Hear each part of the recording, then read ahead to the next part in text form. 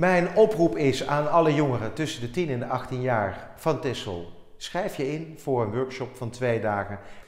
Ik ben uh, in elk dorp, in elk openingsweekend ben ik met een groep jongeren, van ongeveer 12, uh, 12 jongeren, uh, gaan we schilderen. We gaan allemaal een groot schilderij maken, echt een voorschilderij, in hele verschillende technieken. We gaan schilderen, er zijn ook spuitbussen, we gaan met veel stiften werken. En de bedoeling is dat de jongeren gaan laten zien uh, hoe zij hun toekomst op Texel uh, zien. Dus in beeld. Niet in woord, maar in beeld.